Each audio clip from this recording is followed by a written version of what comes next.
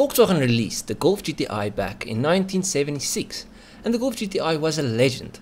Or actually, it is a legend. But why? How does a tiny hatch achieve legendary status? Well, for us to understand why, we have to start at the beginning. Okay, not so far back, I mean like the 70s. Back then, one of VW's engineers saw potential in their new Super Mini, the Golf.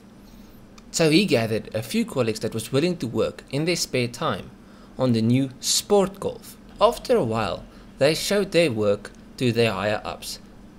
And what do you think they thought about this new Sport Golf? Well, they loved it, and in 1975, at the Frankfurt Motor Show, VW unveiled the Golf GTI. It got a different interior and a chin spoiler, but other than that, it looked like a normal Golf. But the special thing was under the bonnet. They fitted the Golf with a 1.6 litre fuel injected engine that made 80 kilowatt and 137 newton meters of torque, which isn't a lot, but remember, the Golf only weighed 800 kilograms.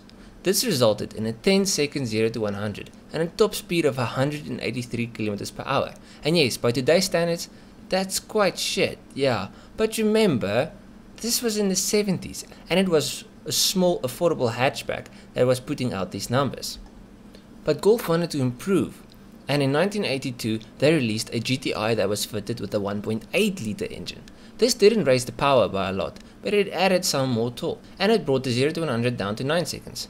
To put that into perspective, the 1982 Ford Mustang GT 5 litre V8 did a 8.2 seconds 0 to 100. In other words, a huge 5 litre V8 barely outperformed this tiny 4 cylinder hatch and because of how light the Golf was, she was great in the corners too. Look, it's a different experience taking one of these out.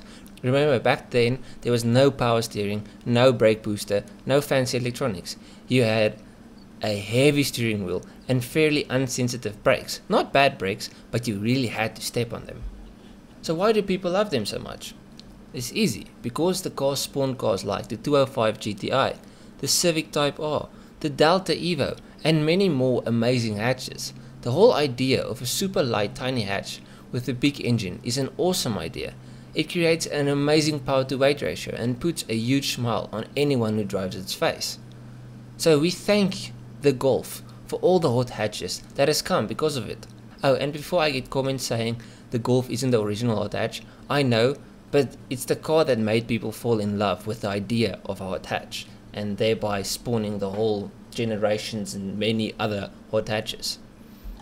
These days, it's almost impossible to find a clean MK1 Golf GTI with no rust. They are either modified or just rust buckets. Look, I am someone who loves modifying cars, but a 1982 1800 GTI in its original form would be a dream car for my future garage. And just a random fact, the MK1 Golf was produced in South Africa up until 2009. In other words, the car was made from 1984 to 2009. That's 25 years of production.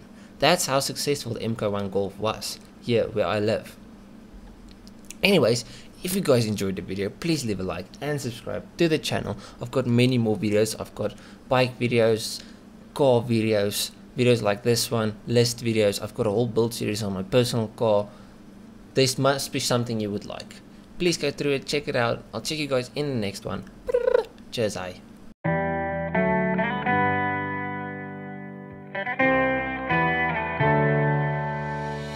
On my own, but I don't know why you hit the road, but you don't.